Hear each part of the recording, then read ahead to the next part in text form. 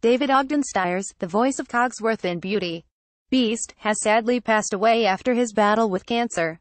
He was 75. David's agent Mitchell K. Stubbs confirmed the news in a tweet on Saturday, March 3.